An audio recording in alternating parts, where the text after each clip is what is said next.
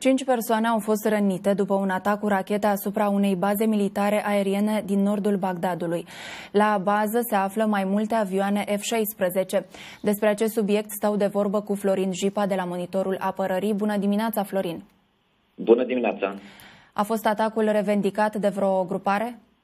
Nu a fost încă revendicat și de regulă atacurile din Irak uh, executate de milițiile șiite susținute de Iran nu sunt revendicate în ultima, ultima perioadă, nu au fost revendicate. Ultimul atac a fost chiar uh, ieri cu o cu, înainte acestuia cu o dronă, de fapt a fost și primul atac cu o dronă din Irak, în, tot într-o bază aeriană din uh, nordul Irakului, din Erbil. De data aceasta a venit uh, și reacția armatei americane, în persoana colonelului Wayne Maroto, care este purtătorul de cuvânt al misiunii Inherent Resolve și care a declarat că în uh, baza respectivă, în Balad, unde sunt aeronave F-16, Uh, nu erau militari americani sau ai coaliției internaționale. Acolo erau doar militari irachieni care operează aeronavele F-16 și contractori civili, dintre care doi chiar sunt răniți în acest ultim atac.